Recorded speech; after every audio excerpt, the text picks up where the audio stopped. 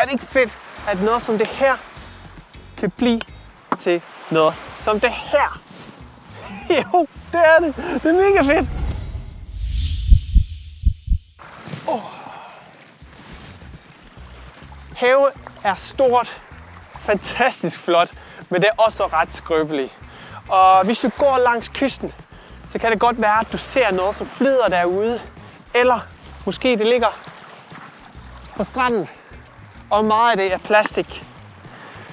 Og det kan blive recirkuleret, det kan blive brugt på nyt i nye plastikflasker, eller handleposer, eller noget som så fedt som de her fantastiske løbetights fra det danske mærke Liberty.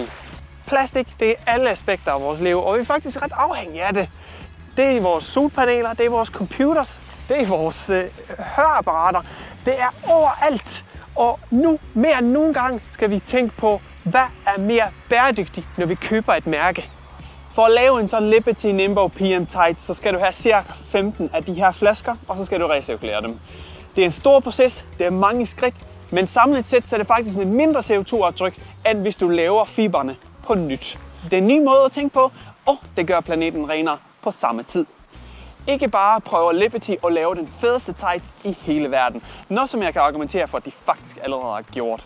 Men de prøver at pushe grænserne og gøre hele processen i at lave tøj mere bæredygtig.